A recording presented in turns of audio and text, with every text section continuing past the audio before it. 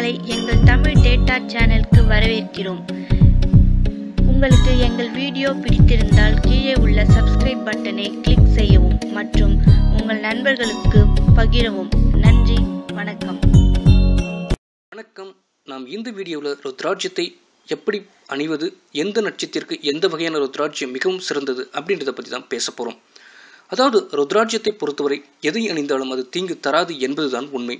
ஆனால் ஒவ்வொருவரின் நட்சத்திற்கும் உகந்த ருத்ராட்சியங்கள் அணிவது மிகவும் நல்ல பலனை தரும். அதுவும் ருத்ராட்சியம் அணிவதற்கு உத்தமமான பூசம் நட்சத்திரம் அன்று நல்ல நாள் பார்த்து பாலில் நனைத்து தெய்வ சன்னதியில் வைத்து அணிய வேண்டும். ஓகே அடுத்ததாக நம்ம எந்த நட்சத்திற்கு எந்த ருத்ராட்சியம் நல்லது என்பதை பார்ப்போம்.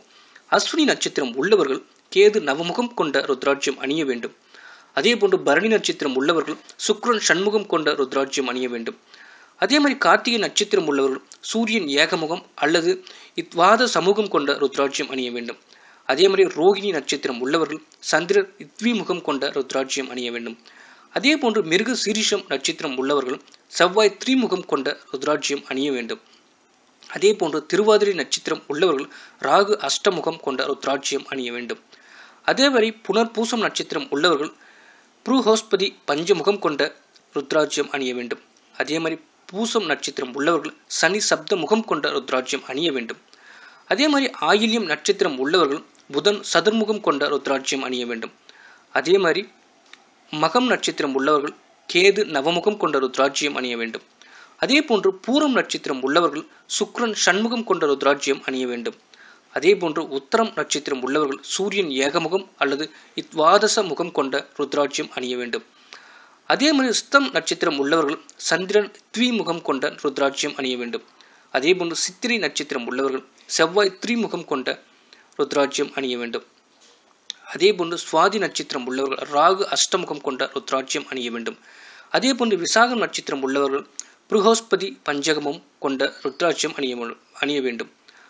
அதே போன்று அனுஷம் நட்சத்திரம் உள்ளவர்கள் சனி சப்தமுகம் கொண்ட ருத்ராட்சியம் அணிய வேண்டும். அதே மாதிரி கேட்டை நட்சத்திரம் உள்ளவர்கள் புதன் சதுர்முகம் கொண்ட ருத்ராட்சியம் அணிய வேண்டும். அதே போன்று மூலம் நட்சத்திரம் உள்ளவர்கள் கேது நவமுகம் கொண்ட ருத்ராட்சியம் அணிய வேண்டும். அதே போல போராடம் நட்சத்திரம் உள்ளவர்கள் சுக்ரன் சண்முகம் கொண்ட ருத்ராட்சியம் அணிய வேண்டும்.